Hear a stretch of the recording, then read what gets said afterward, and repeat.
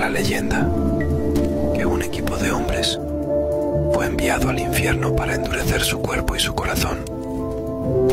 Pasó un tiempo y regresaron con el diablo prisionero. Y ahora son llamados operadores especiales.